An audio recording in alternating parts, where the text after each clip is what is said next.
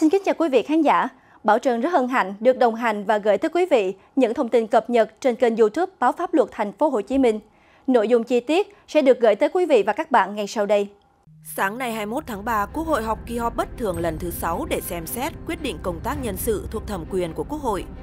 Theo đó, Quốc hội đã thực hiện quy trình bãi nhiệm đại biểu Quốc hội khóa 15 đối với bà Hoàng Thị Thúy Lan, cựu bí thư tỉnh ủy, trưởng đoàn đại biểu Quốc hội tỉnh Vĩnh Phúc. Tại phiên họp, trưởng ban công tác đại biểu Nguyễn Thị Thanh trình bày tờ trình của Ủy ban Thường vụ Quốc hội đề nghị Quốc hội xem xét bãi nhiệm đại biểu Quốc hội khóa 15 đối với bà Hoàng Thị Thúy Lan. Theo tờ trình, bà Hoàng Thị Thúy Lan đã vi phạm các tiêu chuẩn của đại biểu Quốc hội được quy định tại Điều 22 Luật Tổ chức Quốc hội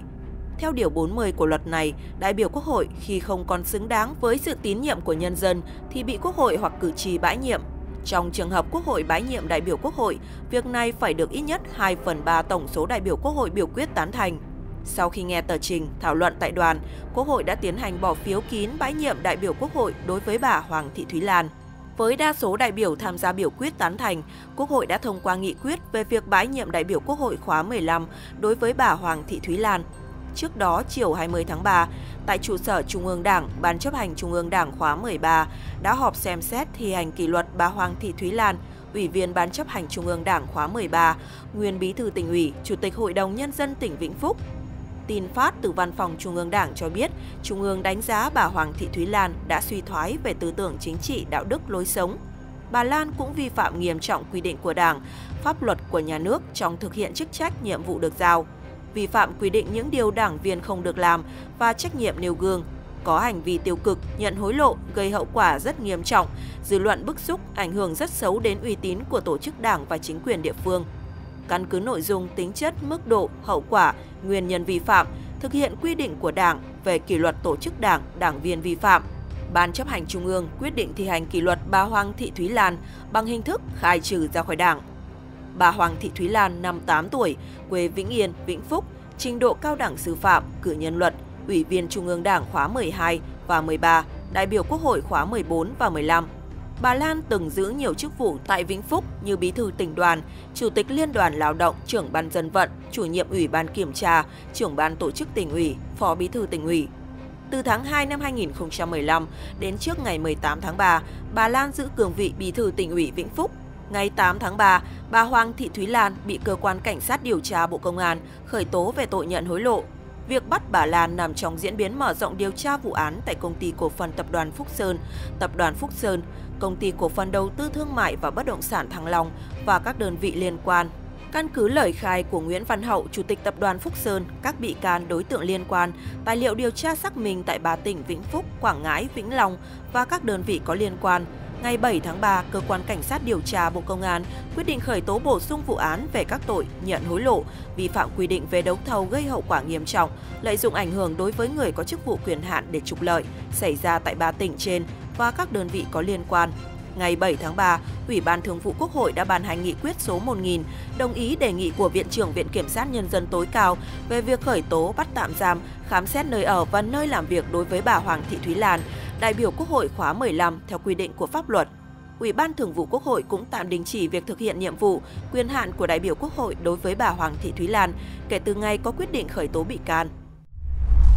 Ngày 20 tháng 3 năm 2024, tại trụ sở Trung ương Đảng, Ban chấp hành Trung ương Đảng khóa 13 đã họp xem xét thi hành kỷ luật bà Hoàng Thị Thúy Lan, Ủy viên Ban chấp hành Trung ương Đảng khóa 13, cựu bí thư tỉnh ủy, Chủ tịch Hội đồng Nhân dân tỉnh Vĩnh Phúc. Theo Trung ương, bà Hoàng Thị Thúy Lan, Ủy viên Trung ương Đảng khóa 13, nguyên bí thư tỉnh ủy, Chủ tịch Hội đồng Nhân dân tỉnh Vĩnh Phúc đã suy thoái về tư tưởng, chính trị, đạo đức, lối sống. Bà Lan cũng vi phạm nghiêm trọng quy định của Đảng, pháp luật của nhà nước trong thực hiện chức trách, nhiệm vụ được giao, vi phạm quy định những điều đảng viên không được làm và trách nhiệm nêu gương, tiêu cực, nhận hối lộ, gây hậu quả rất nghiêm trọng, dư luận bức xúc, ảnh hưởng rất xấu đến uy tín của tổ chức đảng và chính quyền địa phương. Căn cứ nội dung, tính chất, mức độ, hậu quả, nguyên nhân vi phạm, thực hiện quy định của Đảng về kỷ luật tổ chức Đảng, đảng viên vi phạm, Ban chấp hành Trung ương Đảng quyết định thi hành kỷ luật bà Hoàng Thị Thúy Lan bằng hình thức khai trừ ra khỏi Đảng. Ban chấp hành Trung ương Đảng giao cho Bộ Chính trị chỉ đạo các cơ quan liên quan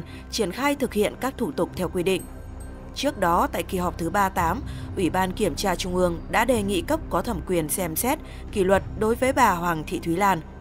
Theo kết luận của Ủy ban Kiểm tra Trung ương, bà Lan và một số cán bộ đã suy thoái về tư tưởng chính trị, đạo đức, lối sống, vi phạm nghiêm trọng quy định của Đảng, pháp luật của nhà nước trong thực hiện chức trách nhiệm vụ được giao.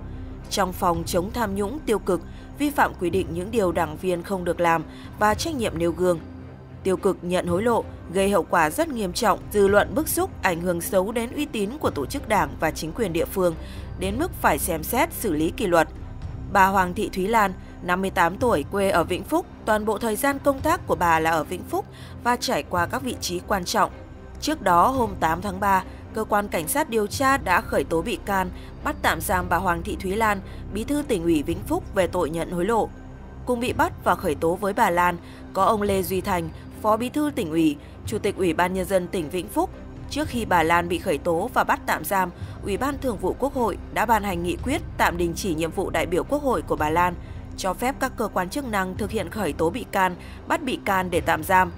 Việc khởi tố bắt tạm giam hai lãnh đạo cao nhất của tỉnh Vĩnh Phúc nằm trong diễn biến mở rộng điều tra vụ án vi phạm quy định về kế toán gây hậu quả nghiêm trọng do Nguyễn Văn Hậu và đồng phạm thực hiện xảy ra tại công ty cổ phần tập đoàn Phúc Sơn, công ty cổ phần đầu tư thương mại và bất động sản Thăng Long và các đơn vị liên quan. Trước đó, cơ quan cảnh sát điều tra đã khởi tố bị can, bắt tạm giam ông Nguyễn Văn Hậu, tức Hậu Pháo, Chủ tịch Hội đồng Quản trị Công ty Cổ phần Tập đoàn Phúc Sơn về tội vi phạm quy định về kế toán, gây hậu quả nghiêm trọng. Bộ Công an cũng khởi tố 5 người liên quan, gồm Nguyễn Thị Hằng, Phó Tổng Giám đốc, Đỗ Thị Mai, Kế toán trưởng, Hoàng Thị Tuyết Hạnh, Kế toán viên, Trần Hữu Định, Giám đốc Công ty Cổ phần Đầu tư Nam Á Group và Nguyễn Hồng Sơn về tội danh trên. Ngày 18 tháng 3 tại Hà Nội, Ủy ban Kiểm tra Trung ương đã họp kỳ thứ 38. Ông Trần Cẩm Tú, Ủy viên Bộ Chính trị, Bí thư Trung ương Đảng, chủ nhiệm Ủy ban Kiểm tra Trung ương chủ trì kỳ họp. Tại kỳ họp này, Ủy ban Kiểm tra Trung ương đã xem xét, kết luận một số nội dung sau. Tại Vĩnh Phúc, Ủy ban Kiểm tra Trung ương nhận thấy bà Hoàng Thị Thúy Lan, Ủy viên Trung ương Đảng, nguyên Bí thư tỉnh ủy, Chủ tịch Hội đồng Nhân dân tỉnh, trưởng đoàn đại biểu Quốc hội tỉnh, Lê Duy Thành, Phó Bí thư tỉnh ủy, Bí thư Ban cán sự Đảng, Chủ tịch Ủy ban Nhân dân tỉnh Vĩnh Phúc đã suy thoái về tư tưởng chính trị, đạo đức, lối sống, vi phạm nghiêm trọng quy định của Đảng, pháp luật của nhà nước trong thực hiện chức trách nhiệm vụ được giao, trong phòng chống tham nhũng, tiêu cực, vi phạm quy định những điều đảng viên không được làm và trách nhiệm nêu gương, tiêu cực nhận hối lộ gây hậu quả rất nghiêm trọng.